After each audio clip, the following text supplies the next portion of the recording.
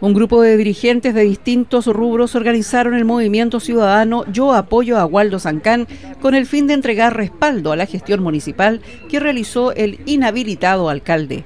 Estos dirigentes pertenecientes a organizaciones de derechos humanos, poblaciones, padres y apoderados, sindicatos y colectivos aseguran tener un movimiento que abarcaría a sobre 15.000 personas.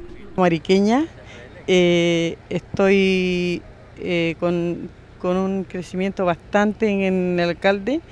Para mí sigue siendo el alcalde porque he visto cosas que se han hecho que realmente nunca la he visto a esta altura de todos los años de vida que tengo en Arica.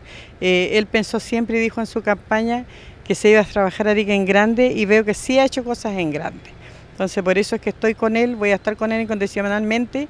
Bueno, eh, el apoyo que se le está dando a nuestro alcalde Waldo Sancán eh, corresponde a y responde a la ayuda que él nos dio como movimiento estudiantil. Él fue el único, uno de los únicos alcaldes en el país el cual eh, no se puso en contra del movimiento estudiantil, al contrario, él ayudó, eh, ayudó a los jóvenes que estaban en toma en su establecimiento, siempre estuvimos ahí con él en la coordinadora, él fue parte de la coordinadora por la educación pública, eh, siempre estuvimos siempre estuvimos en, unión con el alcalde, siempre estuvo apoyando.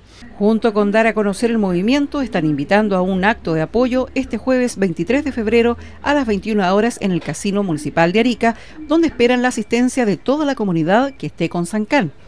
Este movimiento sin fines de lucro se encuentra totalmente convencido del liderazgo para la transformación y modernización de Arica en beneficio de la comunidad que mostró Sancán en su periodo de gestión.